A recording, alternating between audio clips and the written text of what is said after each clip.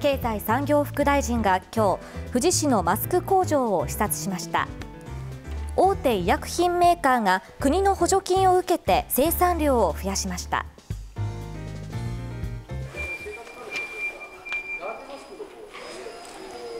富士市のマスク工場を視察したのは牧原秀樹経済産業副大臣です。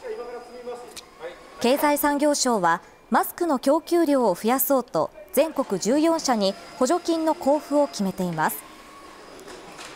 このうち愛知県に本社を置く医薬品メーカー講和の富士工場では今月13日から新しい設備で増産を始めました。牧原副大臣は従来の2倍以上の速さで生産できる世界最先端の設備を視察した後今日の初出荷を見届けました。最新鋭最先端の機械が入っておりまして大変心強いことであります。こうしたあの生産をどんどん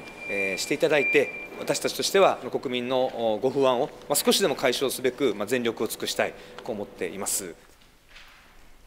1ヶ月あたり全国で8200万枚の増産となり従来の生産力と合わせて国内の供給量は1ヶ月でおよそ6億枚となる見込みです。